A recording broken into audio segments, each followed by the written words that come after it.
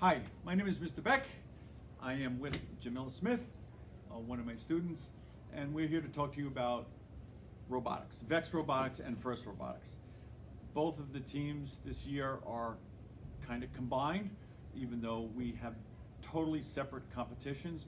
Vex Robotics is geared mostly in the fall and ends in early winter, whereas uh, First Robotics only starts in January and ends sometime in April, I believe it is.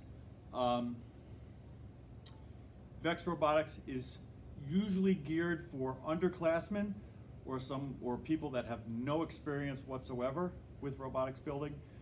Um, they learn robotics from the basic all the way on up to first robotics where we build a robot directly from scratch.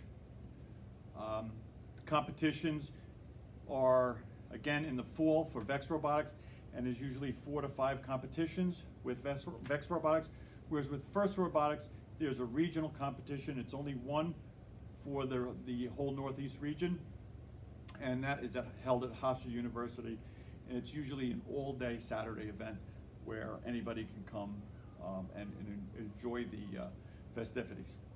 Um, I am going to turn it over to Jamila. She's going to tell, her, tell us a little bit about her experience with uh, both Vex Robotics and First Robotics.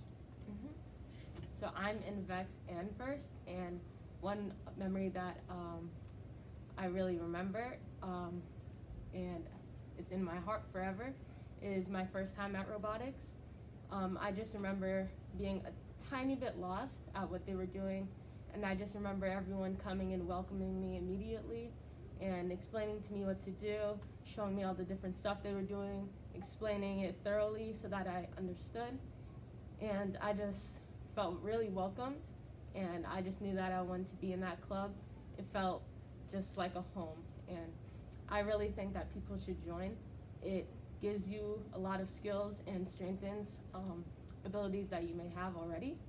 You know, gives you problem solving skills, and it helps you think a lot, and it also helps a lot with uh, collaboration and working with others. Thank you. Thanks for watching.